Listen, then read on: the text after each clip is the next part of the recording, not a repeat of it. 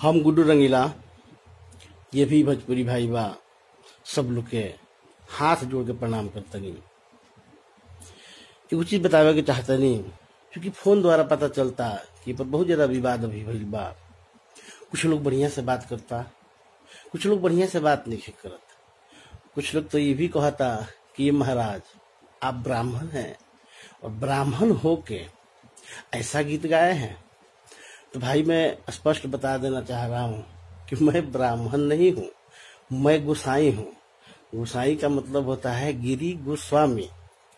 गोस्वामी का मतलब ये होता है, ग्रंथ में लिखा गया है इसको, कि भगवान शंकर पे जो प्रसाद चढ़ता है, उसको खाने का हक सिर्फ़ गोसाई, गिरी, यानी गोस्वामी को है। तो हम ना हम सोच भी सकते हैं ऐसा। आप विश्वास रखें।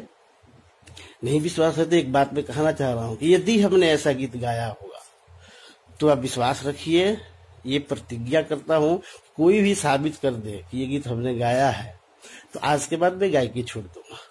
मैं, जो नौजवान पीढ़ी है, जो नौ जो गायक है लोग, उनसे भी एक रिक्वेस्ट करना चाह रहा हूँ। देखिए, आप आगे बढ़िए। आप आगे बढ़ेंगे, आप भविष्य हैं। लेकिन एक चीज़ ध्यान रखिए किसी भी सेलिब्रिटी का फ़ोटो बिना उनसे पूछे मत लगाइए।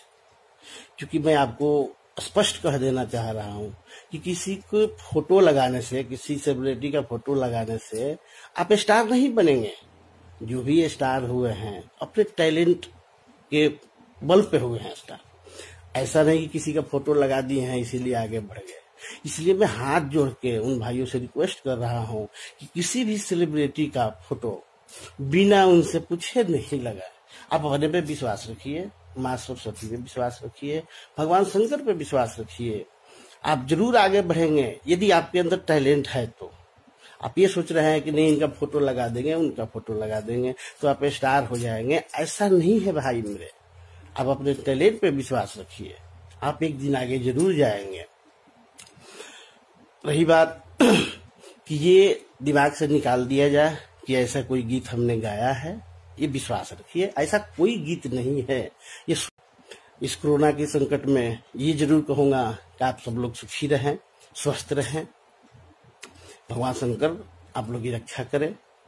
प्रणाम, जय हिंद, जय भारत, जय शिव शंकर।